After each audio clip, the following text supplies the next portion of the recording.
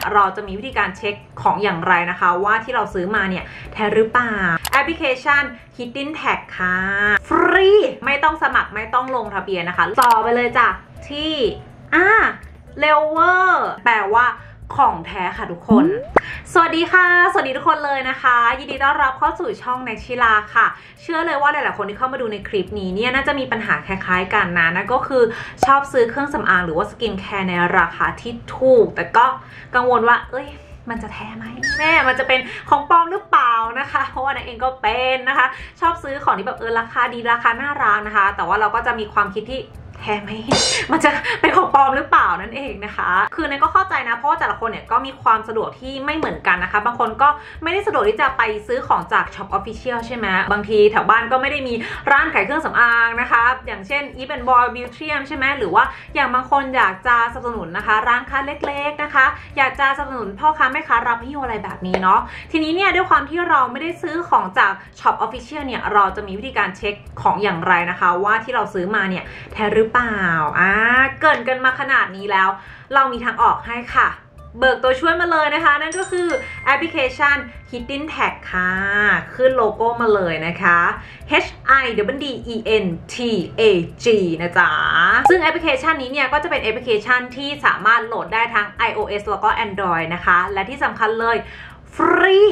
ฟรีนะคะไม่มีค่าใช้จ่ายนะคะ ไม่ต้องสมัครไม่ต้องลงทะเบียนนะคะ โหลดมาก็สามารถที่จะสแกนได้เลยค่ะ ว่าแบบเอ้ยอันนี้แท้ไม่แท้อะไรอย่างไรนะคะ โดยปกติแล้วเนี่ยช่องแน็กเนี่ยแทบจะไม่พูดถึงแอปพลิเคชันเลยนะคะ น้อยมากๆนะ แต่ว่าแอปเนี้ยแน็กดูแล้วว่าแบบเอ้ยมันมีประโยชน์จริงๆนะทุกคนแล้วมันก็เหมาะกับไลฟ์สไตล์อย่างเราๆที่ชอบช้อปปิ้งไง คือมันมีประโยชน์แน่นอนแหละก็เลยอะเราต้องมาพูดถึงกันหน่อยเนาะ ก็เดี๋ยวเราไปดูกันเลยดีกว่านะคะ ว่าเจ้าตัว Hidden Tag เนี่ยเขาใช้งานอย่างไรค่ะ ก่อนอื่นเลยนะคะ ก่อนที่เราจะเปิดแอปเนี่ยเราต้องมีสิ่งนี้ก่อนนั่นก็คือของที่เราจะสแกนไงจ้าต้องมีของก่อนนะทุกคนไม่งั้นจะสแกนอะไรนะคะ ก็เรามี 4 แบรนด์ด้วยกันในวันนี้นะที่จะมาสแกนให้ดูกันค่ะเป็นแบรนด์ที่ดังมากแล้วก็มีของก๊อปเยอะนะจ๊ะนี่เลยจะมีของ Dr. Different นะคะ Roman แล้วก็ 3CE นะและ Some by Me นั่นเองค่ะ เป็นแบรนด์ที่มีขายแบบเกลื่อนจริง ๆนะคะ แล้วก็เอ๊ะ สังเกตยากอยู่นะ คือกล่องมันก็แบบเออทำดูดีนะเดี๋ยวนี้ของกอปอะก็นั่นแหละค่ะ วิธีการดูนะคะ อย่างแรกเลยให้สังเกตตรงนี้นะคะ นี่เขาจะมีฉลากสีเงินแปะไว้ให้ค่ะ ทุกกล่องนะคะ ที่แบบเข้าร่วมนะ แบรนด์ไหนที่เข้าร่วมแอปพลิเคชันนี้เนี่ยจะมีฉลากสีเงินแปะไว้แบบนี้นะคะ ซึ่งแต่ละแบรนด์เนี่ยก็จะมีลักษณะที่แตกต่างกันไปนะ แต่ว่าถ้าเข้าร่วมแล้วเนี่ยยังไงก็สแกนติดนะคะ ซึ่งแบรนด์ที่เข้าร่วมกับแอปนี้เนี่ยเยอะมาก มากแบบว่าขึ้นโลโก้เลยค่ะ ขึ้นมาเลยปุ๊บพับปุ๊บพับปุ๊บพับนะคะ เออ คือเยอะจริง ๆ แล้วก็ขึ้นให้ไม่หมดด้วย เพราะว่าถ้าให้ขึ้นทุกโลโก้ คลิปนี้จะกี่ชั่วโมงก่อนนะคะ ไม่ได้ไปไหนพอดีกันวันนี้นะคะ หลักๆเนี่ยก็จะเป็นแบรนด์ของเกาหลีเนาะ อะ ทีนี้มาดูกันที่การใช้งานกันดีกว่าค่ะ ไม่ยากเลย เปิดแอปพลิเคชันขึ้นมา ประเดิมมาที่ตัวแรกเลยนะคะ 3CE ไหมอ่า 3CE ก่อนเลยนะคะ ที่การสแกนนะคะ เกิดเข้ามาที่แอปแล้วนะคะ แล้วก็กดสแกน นี่มันก็จะมีหน้าสแกนแบบนี้มาให้นะคะ และต่อไปเลยจ้ะที่อ่าเรเวอร์พอจาะเข้าไปแล้วใช่ไหมคะ มันก็จะขึ้นมาเป็นหน้าเว็บไซต์ของแบรนด์นั้นๆนะคะ คือถ้าสมมติว่าสแกนปุ๊บแล้วเข้ามาเป็นเว็บไซต์ของแบรนด์นั้นแปลว่าของแท้ค่ะทุกคน เดี๋ยวลองกับตัวอื่นบ้างนะอะของ rom&nd ต่อเลยนะคะ ของ rom&nd สแกนจ้า ตัว rom&nd เนี่ยดูซิชืบ จังไง ขึ้นมาเลย เป็นเว็บไซต์ของโลแมนนะ เออ คือถ้าแบบว่าแบรนด์ไหนนะคะ หรือว่าบริษัทไหนเข้าร่วมกับแอปพลิเคชันนี้เนี่ย ก็คือจะสามารถแบบว่าโปรโมทสินค้าได้ในแอปได้เลยนะคะ เออ ลูกค้าที่ใช้แอปนี้เนี่ยก็จะสามารถดูรายละเอียดสินค้าใหม่ๆได้นะ ผ่านทางแอปนี้ได้เลยค่ะอีกตัวหนึ่งของ Dr. Different นะคะ อันนี้ไม่แน่ใจว่าอ่านชื่อแบรนด์ถูกไหม ถ้าอ่านออกเสียงผิดต้องขออภัยด้วยนะคะ โอเค สแกนจ้ะ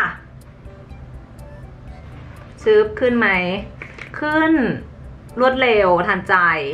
นี่นะคะ ขึ้นมาเป็นโลโก้เว็บไซต์เลยนั่นนู่นนี่ ง่ายไหมง่ายเวอร์นะคะ ทีนี้เนี่ยเดี๋ยวเรามาพูดถึงฉลากอีกแบบหนึ่งบ้างนะคะ ที่จะมีบางแบรนด์นะของเขาจะมีตัวเลขซ่อนอยู่ค่ะ เวลาที่เราสแกนเนี่ยอาจจะต้องมีการกรอกตัวเลขลงไปนะคะ อย่างของ Some By Mi เนี่ยก็จะมีสินค้าบางชิ้นนะคะ ที่จะมีตรงด้านล่างตรงนี้นะคะ ที่เราจะต้องขูดนะคะ เพื่อที่จะกรอกรหัสลงไปด้วยเลยนะ แต่ว่ามันก็แบบไม่ได้ยากขึ้นกว่าเดิมเท่าไหร่หรอกก่อนอื่นเลยนะคะ ขูดจ้ะ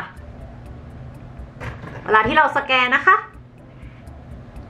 ชิบพอสแกนลงไปมันจะขึ้นให้ใส่ตัวเลขค่ะ ซึ่งเวลาการที่เราจะใส่ตัวเลขนะคะ หรือว่าตัวหนังสือเนี่ยให้ใส่ทีละ 2 ตัวนะคะ พอเราใส่ไป 2 ตัวแล้วปุ๊บร้อให้เขาประมวลผลก่อน จากนั้นตามด้วยอีก 2 ตัวหลัง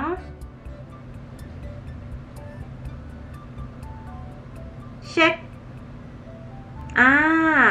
เรียบร้อยค่ะ นี่เลย ก็คือถือว่าเนี่ยของแท้นะคะ เพราะว่าขึ้นเป็นหน้าเว็บไซต์ของทางแบรนด์นั่นเองค่ะ ไม่ยากทุกคนไม่ยากเนี่ย เดี๋ยวลองสแกนอีกรอบนึง คือถ้าสแกนอีกรอบนึงเนี่ย อันนี้ก็จะไม่ต้องกรอกเลขแล้วเนาะ เพราะว่าเราได้มีการกรอกเลขไปแล้วนะคะ นี่เห็นไหมมันก็จะขึ้นมาแบบนี้ โอเคค่ะ วิธีการใช้งานเนี่ยก็จะคร่าวๆประมาณนี้เลยนะ และคำถามคือถ้าสมมติว่ามันไม่ใช่ของแท้ล่ะมันจะขึ้นออกมาเป็นแบบไหน มันจะขึ้นเป็นแบบนี้ค่ะขึ้นมาให้เลย warning จ้ะแบบว่า เอ้ย เธอมันไม่ใช่ของแท้แล้วนะ นี่ค่ะมันจะขึ้นมาแบบนี้นะคะ หรืออีกแบบหนึ่งนั่นก็คือสแกนออกมาแล้วไม่ติดค่ะ สแกนไงก็แบบไม่ขึ้นไม่เกิดอะไรขึ้นเลยนะคะ คือถ้าแท้เนี่ยยังไงก็ขึ้นเว็บไซต์มาให้ แต่ว่าถ้าดูทรงละทำไมสแกนไม่ติดสักทีหนึ่งเนี่ยเริ่มเริ่มทำแม่งทำแม่งแล้วนะคะ แบบนี้เนี่ยเราสามารถที่จะส่งรูปภาพนะคะ ไปให้ทางแอปเช็คได้เลยค่ะ ก็ตามนี้เลยนะคะ ถ่ายรูปนะคะ ใส่พวกตัวเลขรายละเอียดข้อมูลต่างๆ ลงไปนะคะ แล้วก็ส่งไปให้ทางแอปพลิเคชันของเขาเนี่ยตรวจสอบได้เลยค่ะ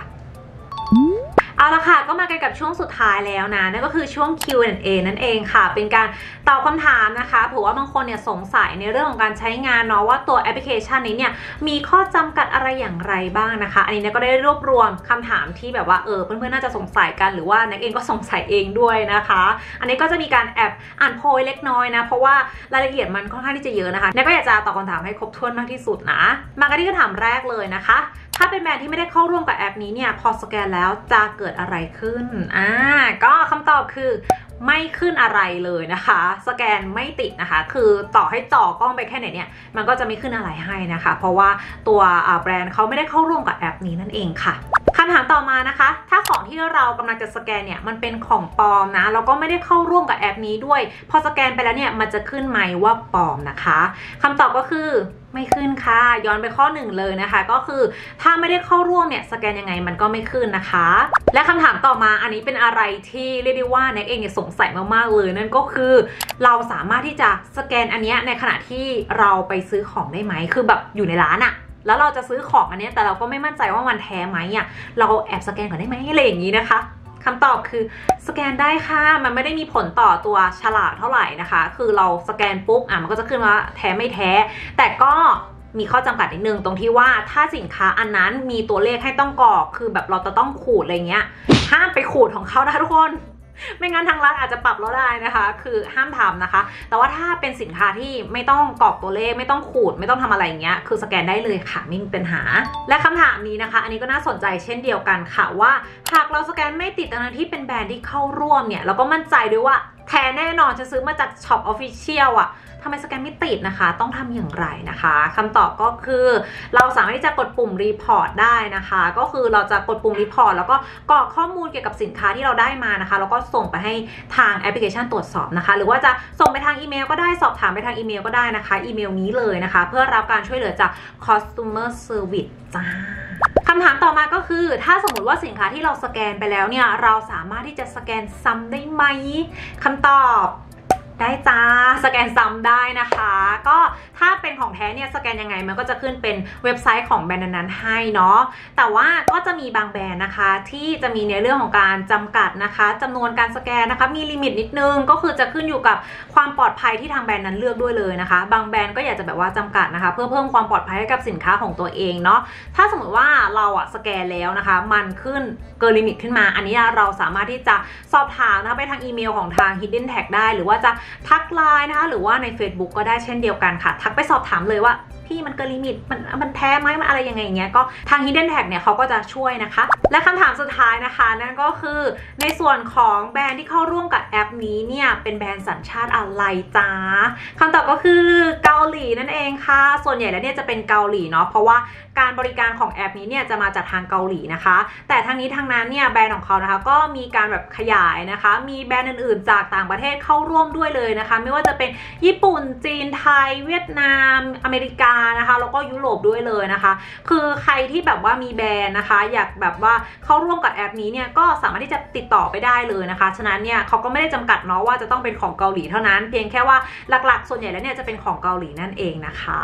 และนอกเหนือจากนี้นะคะ แอปนี้เนี่ยไม่ได้สแกนได้แค่สกินแคร์หรือว่าเครื่องสำอางนะยังมีสินค้าหมวดอื่นๆที่เข้าร่วมกับแอปนี้นะคะ ไม่ว่าจะเป็นสินค้าแฟชั่นนะเสื้อผ้ากระเป๋ารองเท้านะคะ หรือว่าจะเป็นพวกเครื่องใช้ไฟฟ้านะคะ ก็ยังไงใครอยากลองสแกนดูบ้างนะคะ สามารถที่จะไปเช็คได้เลยนะ ว่ามีแบรนด์ไหนเข้าร่วมบ้างนะคะ นี่จะขึ้นลิงก์ไว้ให้เนาะบอกเลยว่าแอปนี้เนี่ยระดับนานาชาตินะจ๊ะมีภาษารับรองถึง 7 ภาษากันเลยทีเดียวค่ะ ปลอดภัยแน่นอนไม่ไวรัสไม่สแปมจ้า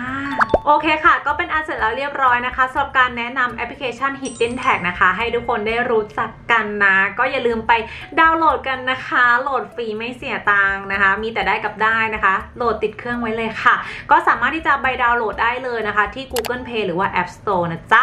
โอเคสำหรับวันนี้นะคะ ไม่มีอะไรแล้วเนาะเนี่ยก็ต้องขอตัวลาไปก่อนนะ แล้วเดี๋ยวไว้เจอกันใหม่คลิปหน้า สวัสดีค่ะ บ๊ายบาย